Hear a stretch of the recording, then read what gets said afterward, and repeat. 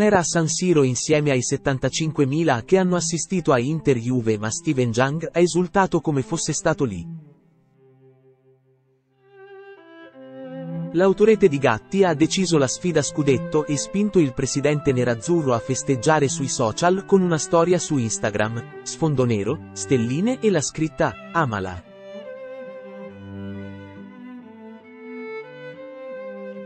Il numero uno del club poi ha commentato un post di Hakan Kalanoglu così, non abbiamo ancora finito.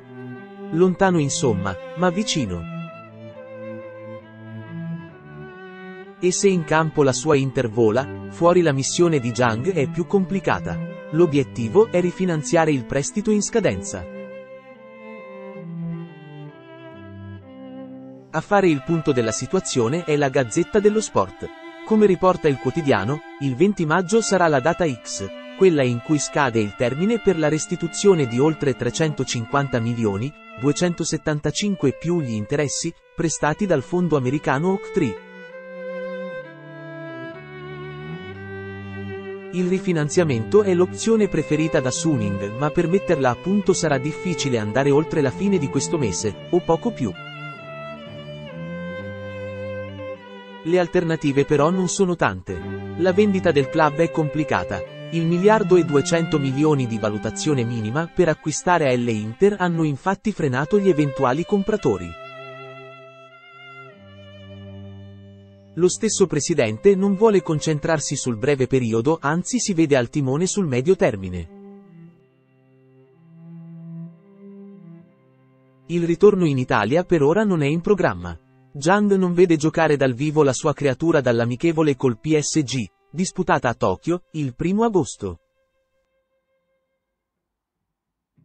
Sarà in Italia solo dopo aver compiuto la missione societaria per esultare, stavolta sì, insieme ai 75.000 cuori nerazzurri di San Siro. Inter, per Zielinski è già pronto il contratto da firmare, le cifre, uno tira l'altro. L Inter è sempre attenta al mercato dei calciatori in scadenza di contratto.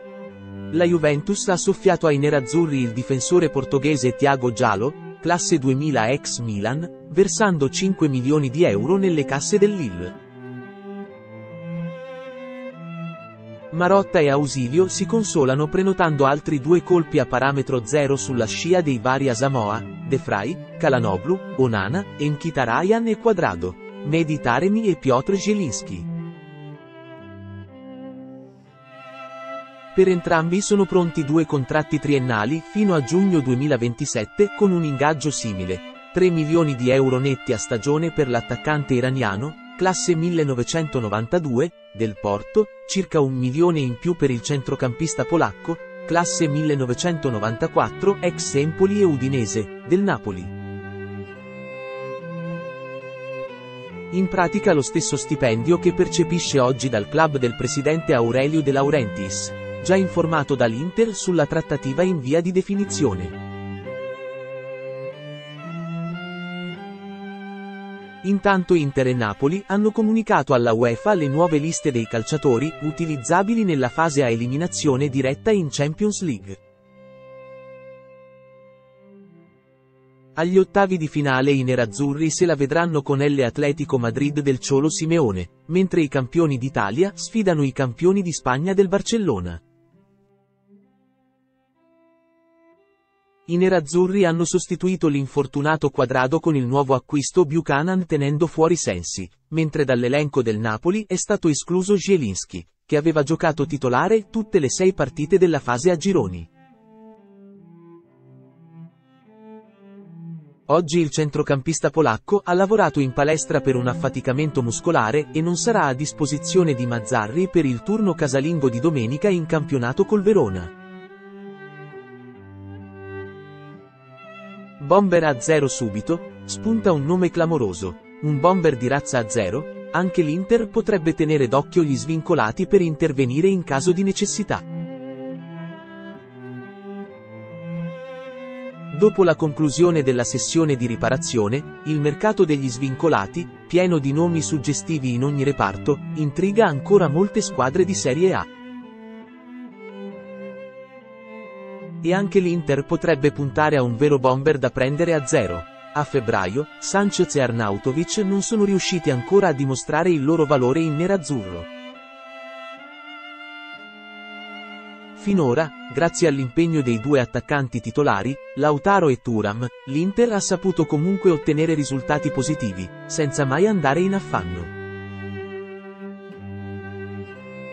Ma per quanto ancora la Tulla potrà offrire garanzie di qualità e continuità a questi livelli. Un cambio all'altezza in attacco sembra ancora indispensabile, nonostante la decisione della dirigenza di confermare la fiducia in Arnautovic e Sanchez. Col mercato chiuso, qualora fosse indispensabile inserire un nuovo nome in rosa, l'unica possibilità concreta è di cercare un bomber a costo zero. Cioè uno svincolato, in effetti, il mercato degli svincolati è pieno di nomi di lusso, tutti disponibili anche per soli 6 mesi. Ellas e Salernitana, per esempio, stanno provando a ingaggiare Konstantinos Manolas. Nessuno in Serie A sembra per ora interessato invece a David De Gea, portiere ex Manchester United, che ha già detto no a offerte faraoniche dall'Arabia Saudita per aspettare la proposta giusta fa un top club europeo. Bomber a zero per l'Inter, tutti i nomi per il possibile colpo. La Lazio ha provato a farsi avanti per Jesse Lingard, anche lui ex Manchester United, lo svincolato è però vicino a trasferirsi in Corea del Sud, per giocare all'FC Seoul. L'Inter potrebbe fare un pensierino per Diego Costa. La punta ormai 35enne, non è più il campione di un tempo, ma come quarta punta potrebbe essere un bel nome. Al Botafogo, in Brasile, Costa ha mostrato evidenti difficoltà atletiche. In 13 partite ha segnato un solo gol. In compenso ha rinforzato la sua fama da bad boy, dentro e fuori dal campo. Fino a tre anni fa, nessuno avrebbe mai potuto metterlo in discussione. Costa era rispettato in tutta Europa come centravanti dalle grandi doti realizzative, molto forte fisicamente, veloce e abile nel gioco aereo. Ora è lento, appesantito e poco ispirato in area di rigore. E nel frattempo, la vacanza in Brasile, lo ha reso ancora più antipatico, per il suo gioco spesso scorretto, le provocazioni in campo e i troppi comportamenti sopra le righe. È senza contratto anche lo spagnolo Santi Mina, ex Celta Vigo. Mina ha rescisso con il suo club storico dopo essere stato rinviato a giudizio insieme all'ex compagno di squadra David Voldar per una bruttissima storia, un reato di violenza sessuale. Lo voleva Pirlo l'estate scorsa, ma i tifosi della Samp si sono opposti. Sempre la Samp potrebbe prendere Okaka nei prossimi giorni. L'ex Roma era già stato accostato come svincolato all'Inter anche nei mesi scorsi. Fiducia nelle riserve e dita incrociate per i titolari, sembra dunque complicato che l'Inter possa davvero rifornirsi nel mercato degli svincolati. In questo momento bisogna solo sperare che Arnautovic e Sanchez riescano a fare qualcosa di buono.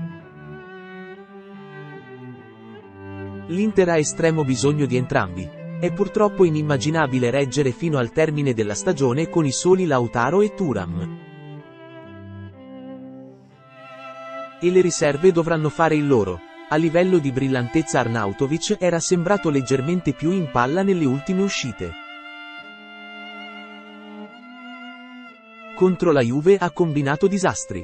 Gli manca il gol per sbloccarsi mentalmente. Il Nino avrebbe bisogno di un trattamento speciale. Va posizionato trequartista e lasciato libero di improvvisare.